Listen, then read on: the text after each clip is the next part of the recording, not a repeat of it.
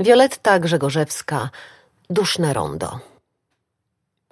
Wróciłam na stację przy ulicy Lelewela.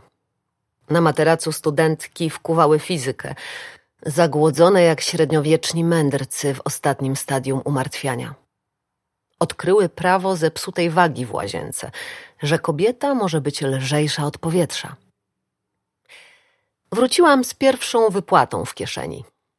Zamiast uczyć się na egzamin z historii, oglądałam jagiełłę na wymiętym banknocie.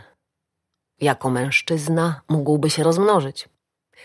Zdjęłam uniform śmierdzący fryturą i wyszłam zaczerpnąć świeżego powietrza. Wróciłam, a koleżanka z testem ciążowym w tym miesiącu nie wywiodła w pole matki natury. Oblała egzaminy byczą krwią.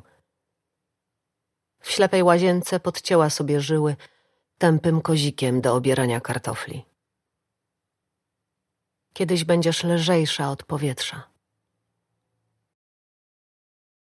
Czytała Anna Gajewska. Wolnelektury.pl. Zostań naszym przyjacielem.